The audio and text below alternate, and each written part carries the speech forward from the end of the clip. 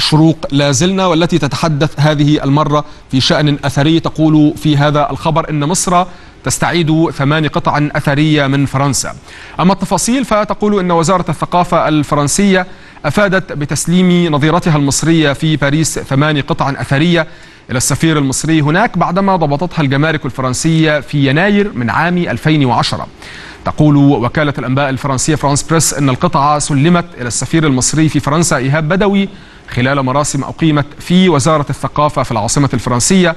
وقد عثر على هذه الآثار وهي عبارة عن تماثيل وألواح تعود لأكثر من ثلاثة آلاف سنة في حقائب مواطن بريطاني. تأتي إعادة هذه القطع بموجب اتفاقية اليونسكو عام 70 والهادفة إلى مكافحة تهريب الممتلكات الثقافية.